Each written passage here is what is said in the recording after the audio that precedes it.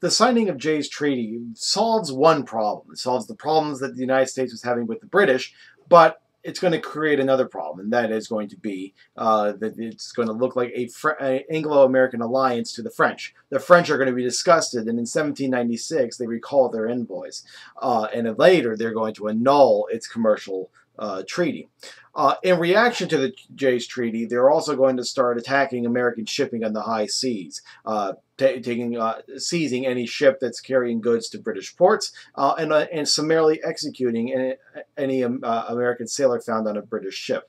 In addition, we're going to start seeing with the notion of impressments, basically the forcing of American sailors aboard French ships to serve on on to serve on the French on these French captains' boats.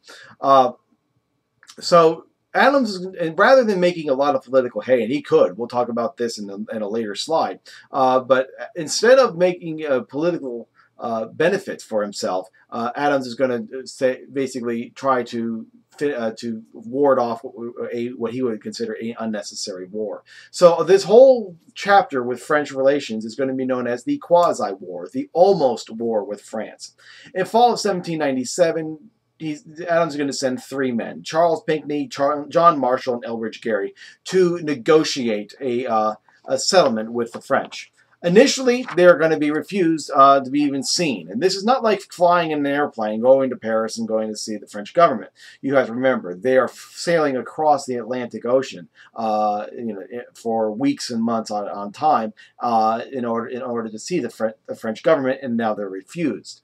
But nonetheless, through three intermediaries, we're going to have uh, uh, we're going to have the opening rounds of negotiation. Uh, the French foreign minister is going to demand a bribe of $250,000 for himself, a loan of $12 million, and an apology from Adams himself for his anti-French remarks. Adams is going to receive news about this, and of course Congress is going to want to hear about it, but he refuses to tell them who these French intermediaries were made, named. In fact, he's just going to call them Mr. X, Mr. Y, and Mr. Z. But despite the fact that they were trying to uh, negotiate a diplomatic settlement to the dispute, Adams says we need to start preparing for war. And so in 1798, he passes and signs into law the direct tax of 1798. What this basically does is it upgrades the Army and the Navy.